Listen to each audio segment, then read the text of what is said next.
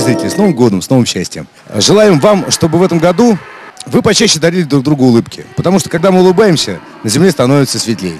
С Новым годом!